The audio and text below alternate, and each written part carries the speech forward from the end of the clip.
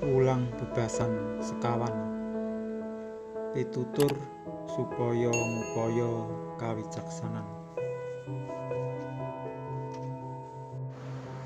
Sugeng dalu wekdal menika kawula badhe nglajengaken maos kitab ulang bebasan.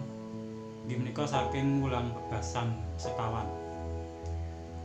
Pitutur supaya ngupaya kawicaksanan Hei bocah-bocah, padha ngrungokno pamargining bapa lan titenono supaya kowe bisa oleh pangerten. Awit piwulang kang becik kang dak wenehake marang kowe, aja padha ninggal marang pituturku. Marga nalika aku isih bocah tunggal saomah karo bapakku, aku ringkih lan dadi anak untang antinge ibuku. Aku diulang bapakku, pituture mangkene. Atimu dimen gondeli tembung-tembungku. Pituturku tetep ana, temah kowe bakal urip. Budi daya supaya oleh kawicaksanan. Marsudya supaya oleh pangerten. Aja ndleya lan aja nyimpang saka tembung-tembung kang metu saka ing sangkemku. Aja nyingkur marang kawicaksanan, temah kowe bakal direksa. Iku tresnanono, temah kowe bakal digungateni. Wiwitane kawicaksanan iku marsudya supaya oleh kawicaksanan lan budidaya oleh pangerten krana sabarang kang wis kok dardeni. Iku ajenana lemah kowe bakal diluhurake. Menawa kok rampul kowe bakal kadadekake kajen keringan. Sirahmu bakal dietrapi oncen-oncen kembang kang indah sarta kowe bakal diwenehi makutha kang adi. E anakku rungokno lan tampanono pituturku temah bakal dawa umurmu kowe dak ulang bab dalane kawicaksanan. Dak tuntun lakumu ana ing dalan kang lurus. Menawa kowe lumaku jangkahmu bakal ora dialang-alangi. Menawa lumayu ora bakal kesandung. Manuta marang pamerdi aja kok pecolake iku reksanen marga iya iku uripmu. Aja ngambah dalane wong duraka lan aja tumapak ing wurunge wong ala dalan iku dohana aja metu ing kono. Nyimpango. Lumaku terus. Awit wong iku padha ora bisa turu yen durung nindakake piyala. Nantuke ilang yen durung gawe kesandunge wong. Awit padha mangan roti pametuning duraka. Sarta ngombe anggur pametune ambeksya nanging dalane wong mursid iku kaya pepadang ing wayah esuk kang mundak-mundak padange nganti tumeka ing wayah tengange. Dalane wong duraka iku kaya pepeteng. Padha ora sumurup apa kang marakake kesandung he anakku ngatekno tembungku kupingmu telingno marang apa kang dak ucapake. Kabeh iku aja nganti sumingkir saka ing ngarepmu. Simpenen ana ing sajroning telenge atimu. Awit iku dadi panguripane wong kang nemu lan dadi kawarasaning badane sakujur atimu reksanen kanthi waspada. Awit iku etu ing panguripan. Cangkem kang cidra singkirna saka ing awakmu lan lambe kang kablinger buangen kang adoh mripatmu karben terus mandeng mangarep lan pandelenge mripatmu tansah katujokno mangarsa. Metuwa ing dalan kang rata sarta sakai lakumu diajek aja menggok mangiwa utawa manengen sikilmu edono saka ing piyala kawula lajengaken maos ulang bebasan gangsal. Pitutur bab lagu jino Hei anakku ngatekno marang kawicaksananku. Kupingmu tilingno marang kapinteran kang dak ulangake supaya kowe gondelan ing kawicaksanan lan lambemu memoto kawasisan. Awit lambene wong wadon tuna susila netesake madu. Lan cethake lunyu ngumpuli lenga nanging wekasane pait kaya empedu.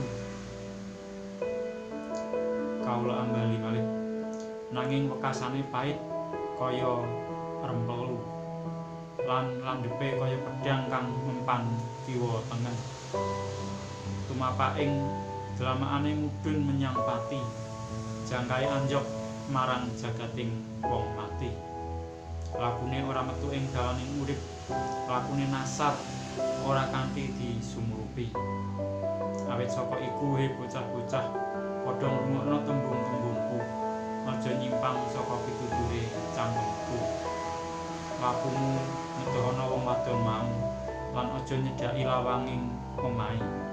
Supaya kanomanmu aja kok pasrahake marang wong liya lan marang kang ambek sia supaya wong liya aja nganti margi awake srana kasugihanmu. Lan pituasing kangelanmu aja nganti tumiba marang wong kang ora kok wangi.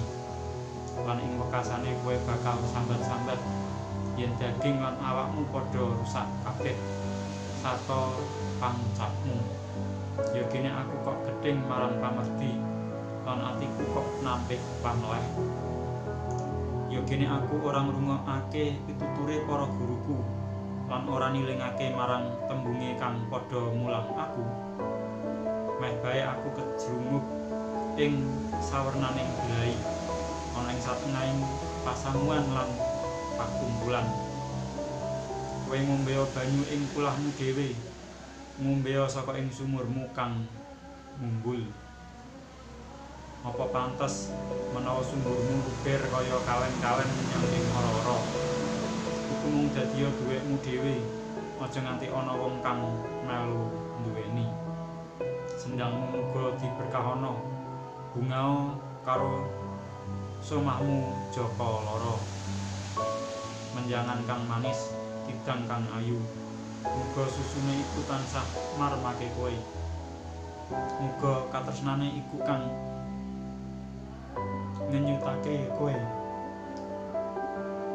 He anakku ya kene kowe nganti kepencut marang wong wadon tuna susila lan ngrangkul dadane wong wadon. Liya amarga pangeran Yahweh ora kasamaran marang sakae tumindake wong sarta mirsani sakae pratingkae manungsa wong duraka ketangkep ing sajroning pialane lan kejiret ing talining dosane dhewe. Wong iku mati marga ora oleh pamerdi lan kesasar marga saka bangeting bodhone kawula lajengaken maos ulang begasan 6 pitutur warna-warna. He anakku menawa kowe nanggung padamu lan gawe prajanjian karo wong liya menawa kowe kejiret ing tembungmu dhewe kena kala ing tembunge cangkemmu dhewe. Nuli he anakku tumindaka mangkene lan ngluwarana awakmu. Marga kowe wis tumiba ing regemane pepadamu. Lunga jengkengnya lan njaluka kawelasan kalawan banget marang pepadamu iku.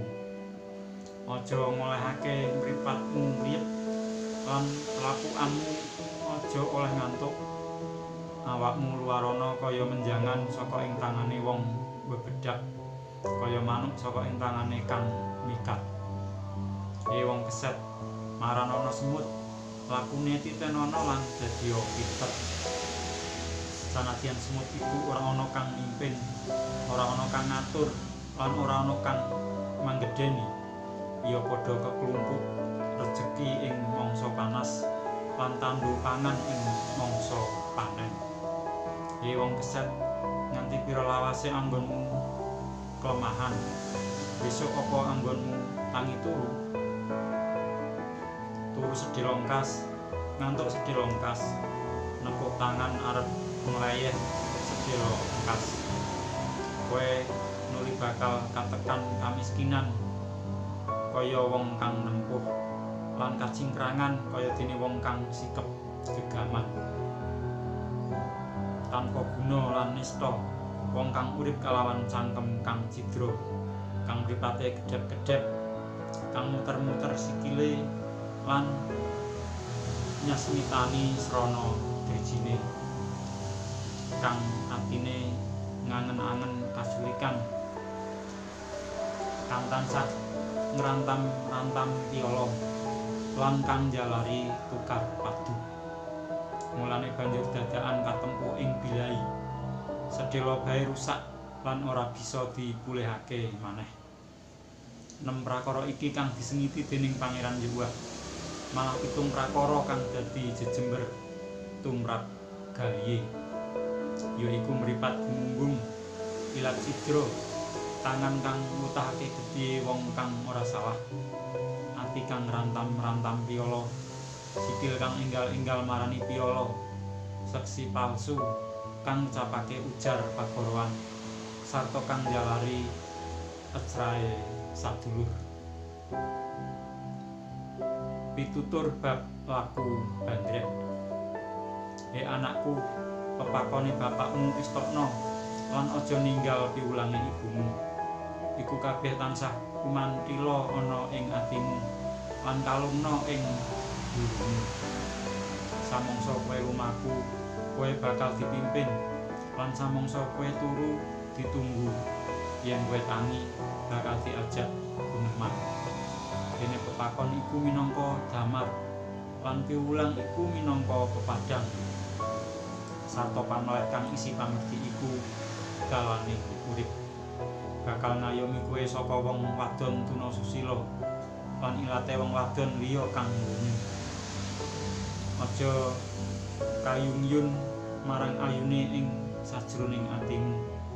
Aja nganti ketarik dening itepe marga kanggone wong wadon tuna susila kang diperlokake iku anggone bisa oleh rezeki nanging bojoning liyan mburu nyawa kang abdi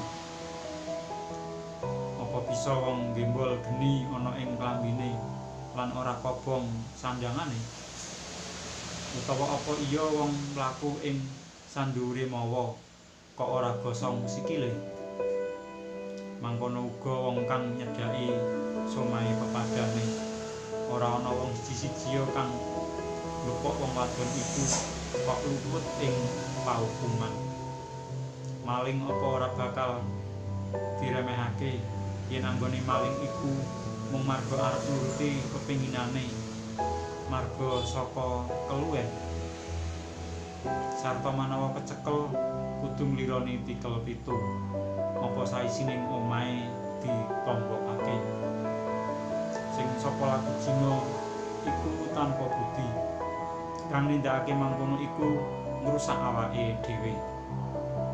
Siksa lan wirang dadi pituwase kawirangane ora bisa ilang marga witarepan iku panasing atine wong lanang. Samangsa males tanpa duwe rasa welas wong iku ora gelem nampani tebusan apa bae sanadyan pira bae kawehmu tetep ora bakal ditampani.